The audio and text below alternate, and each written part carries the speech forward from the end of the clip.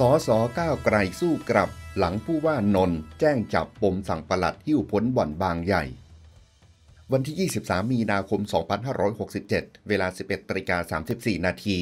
มติชนออนไลน์รายงานว่า จากกรณีนายสุธีทองแย้ม ผู้ว่าราชการจังหวัดนนทบุรี มอบหมายนิติกรชำนาญการ เข้าแจ้งความกับร้อยตำรวจโทขจสิทธิ์โคตโน รองสารวัตรสอบสวนสพรัตนาธิเบศจังหวัดนนทบุรี ให้ดำเนินคดีความผิดอาญาฐานหมิ่นประมาทด้วยการโฆษณา ตามประมวลกฎหมายอาญา มาตรา 328 แก่นายนนท์ไพศาลลิ้มเจริญกิจ สมาชิกสภาผู้แทนราษฎรจังหวัดนนทบุรีเขตปาดภาคก้าวไกล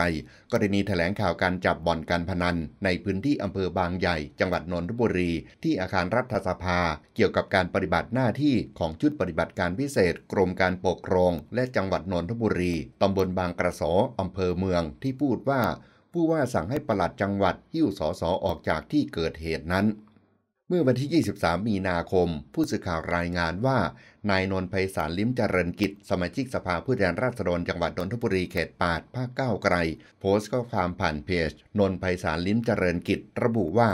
ตอนนี้ผมกับสสคู่นากร ถูกแจ้งความดำเนินคดีหมิ่นประมาท เดี๋ยวเราจะสู้พิสูจน์กันตามขั้นตอนกฎหมายต่อไปครับ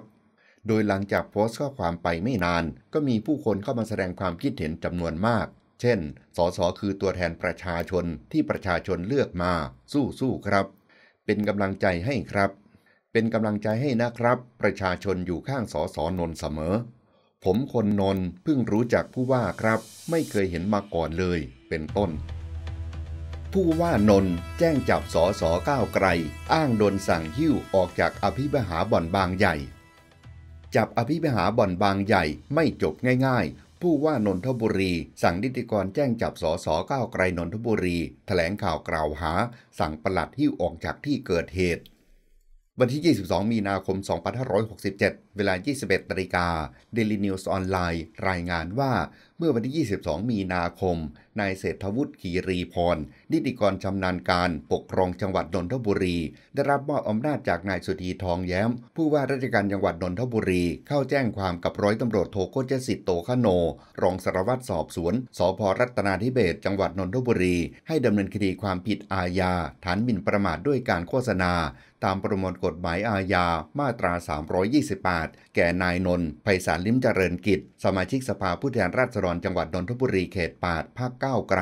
กรณีแถลงข่าวการจับบ่อนการพนัน ในพื้นที่อำเภอบางใหญ่ จังหวัดนนทบุรี ที่อาคารรัฐสภา เกี่ยวกับการปฏิบัติหน้าที่ของชุดปฏิบัติการพิเศษ กรมการปกครอง และจังหวัดนนทบุรี และตำบลบางกระสออำเภอเมือง จังหวัดนนทบุรี ที่พูดว่าผู้ว่าสั่งให้ปลัดจังหวัดหิ้วสอสอออกจากที่เกิดเหตุ เหตุเกิดเมื่อวันที่ 20 มีนาคม 2567 เวลา 11นาฬิกาที่อาคารรัฐสภา โดยรายละเอียดในบันทึกประจำวันระบุว่านายเศรษฐวุฒิกีรีพร ผู้รับมอบอำนาจช่วง จากนายสุธีทองแย้ม แจ้งว่าด้วยจังหวัดนนทบุรี ได้รับข้อได้จริงจากสื่อสังคมออนไลน์ กรณี Facebook ภาคเก้าไกลนนทบุรี ได้มีการถแถลงข่าว เมื่อวันที่ 20 มีนาคม 2567 เวลา 11นาฬิกาณอาคารรัฐสภา เกี่ยวกับการปฏิบัติหน้าที่ของชุดปฏิบัติการพิเศษ กรมการปกครอง และจังหวัดนนทบุรี โดยสรุปได้ว่า นายนนท์ไพศาลลิ้มเจริญกิจ สมาชิกสภาผู้แทนราษฎร จังหวัดนนทบุรีเขตปาดภาคเก้าไกลกล่าวว่า จากเหตุการณ์การจับกลุ่มเมื่อคืนนี้คือวันที่ 19 มีนาคม 2567ทำให้สมาชิกสภาผู้แทนราษฎร ในจังหวัดนนทบุรี เกิดความขุ่นมัวในใจเป็นอย่างมาก ในการปฏิบัติงานของเจ้าหน้าที่ส่วนงานราชการจังหวัด ที่นำโดยผู้ว่าราชการจังหวัดนนทบุรี คือนายสุธีทองแย้ม ที่มีการสั่งให้ปลัดจังหวัดนนทบุรีคิ้วสมาชิกสภาผู้แทนราษฎรที่เข้าไปสังเกตการทำงานออกมา โดยใช้การกระทำที่รุนแรง อยากถามถึงรัฐมนตรี หรือผู้ที่เกี่ยวข้อง ว่าการกระทำลักษณะนี้เห็นสมควรหรือไม่ในการกระทำต่อสมาชิกสภาผู้แทนราษฎร ที่เป็นตัวแทนของพี่น้องประชาชน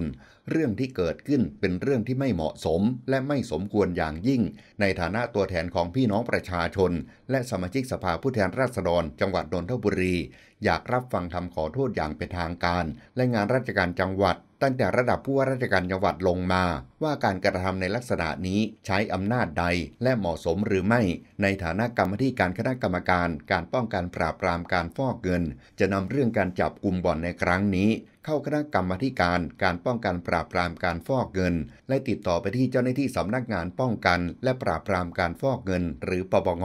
เพื่อรอรับรายงานมาสืบ หาความเกี่ยวพันกับข้าราชการหรือไม่ และการจับกลุ่มเมื่อวานนี้ ยังมีส่วนเกี่ยวข้องกับพนันออนไลน์ด้วย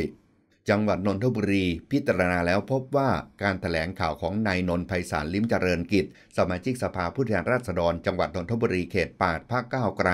ที่ให้ข่าวว่าผู้ว่าราชการจังหวัดนนทบุรี สั่งให้ปลัดจังหวัดนนทบุรีหิ้วสมาชิกสภาผู้แทนราษฎรนั้น อาจทำให้ประชาชนผู้รับข่าวสารดังกล่าว เกิดความเข้าใจผิด ว่าผู้ว่าจังหวัดนนทบุรี ใช้อำนาจโดยมิชอบตามกฎหมาย ใช้ความรุนแรงต่อสมาชิกสภาผู้แทนราษฎร ซึ่งในข้อเท็จจริง ผู้ว่าราชการจังหวัดนนทบุรีไม่ได้มีการสั่งการเกี่ยวกับเรื่องนี้ อีกทั้งสมาชิกสภาผู้แทนราษฎรที่ให้ข่าวดังกล่าว ก็ไม่ได้อยู่ในพื้นที่ขณะเกิดเหตุแต่อย่างใด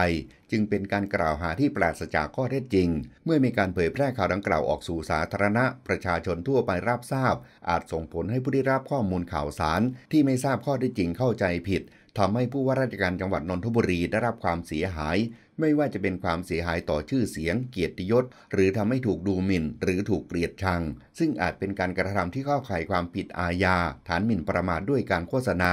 ตามประมวลกฎหมายอาญามาตรา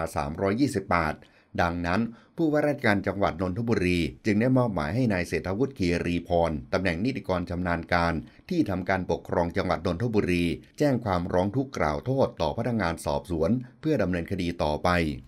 เบื้องต้น ร้อยตำรวจโทก็จะสิทธิ์โคตโน รองสารวัตรสอบสวน สพรัตนาธิเบศได้รับคำร้องทุกคดีอาญาไว้แล้ว จึงให้ลงลายมือชื่อไว้เป็นหลักฐาน เพื่อดำเนินการตามกฎหมายต่อไป